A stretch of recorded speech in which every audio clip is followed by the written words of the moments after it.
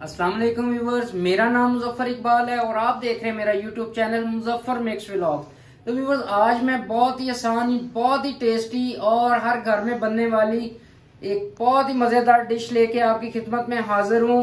आज हम बनाने जा रहे हैं आलू की भुजिया, जो कि बहुत ही आसान, बहुत ही कम इंग्रेडिएंट्स के साथ बनेगी। तो सबसे पहले चलते हैं इंग्रेडिएंट्स की तरफ़ और फिर मेकिंग की तरफ़ चलते हैं और देखते हैं कि हमारी आलू की भुजिया कैसे बनती है।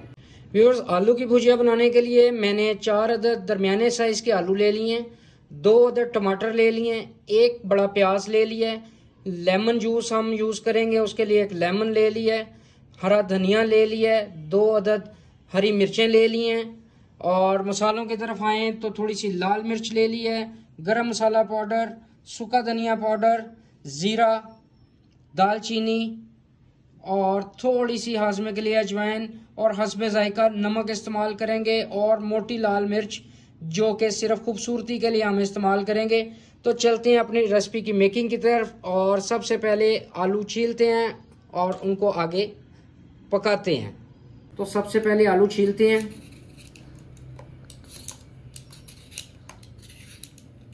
और बरीक काटेंगे इनको।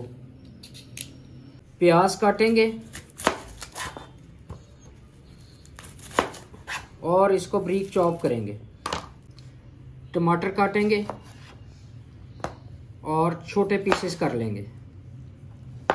तो वीवर सारी कटिंग पूरी हो गई है। अब अब इसको पकाना शुरू करते हैं।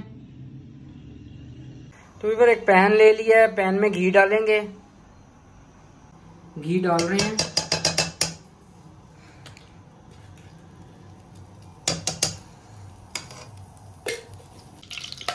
प्याज शामिल करते हैं।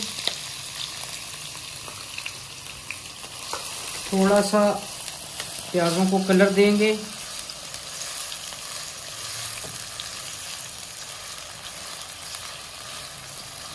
बंद कर दिए हल्की आग पे प्याजों को थोड़ा सा कलर दे लेंगे और फिर इसके अंदर टमाटर शामिल करेंगे।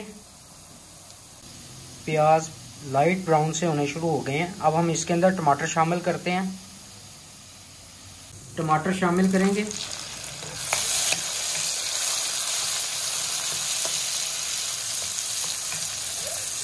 टमाटर और प्याज का मसाला बना लेंगे। नमक शामिल करेंगे।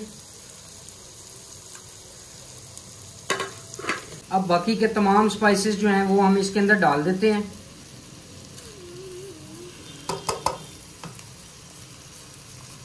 और मसाले को अच्छे तरीके से एक दफ़ा पकाएँगे।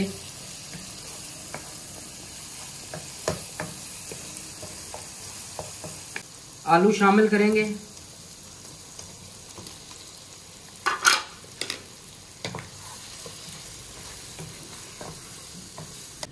आलूओं को थोड़ा सा भून लेंगे।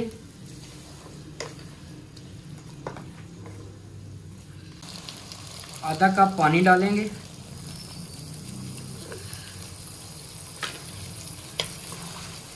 अच्छे तरीके से मिक्स करने के बाद 10 मिनट के दम पे इसको हल्की आग के ऊपर पकने देंगे।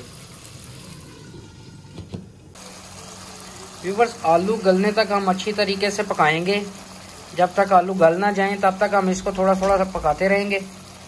और जैसे ही आलू गल जाएँगे, इसको साथ ही हम ड्राई करेंगे और डिश आउट करेंगे। लेमन जूस शामिल करेंगे।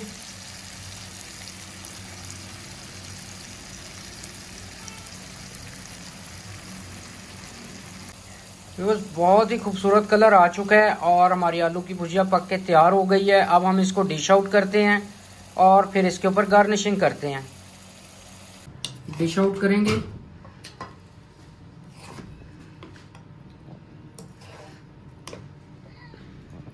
हरी मिर्चें जो ब्रीक चॉप कर ली थी चार चार पीस मैंने किए थे वो डालेंगे।